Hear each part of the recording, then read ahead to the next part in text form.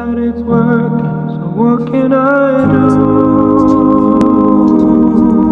when you're out outside in my mind?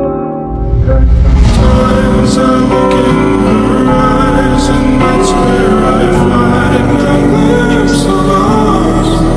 Cause I try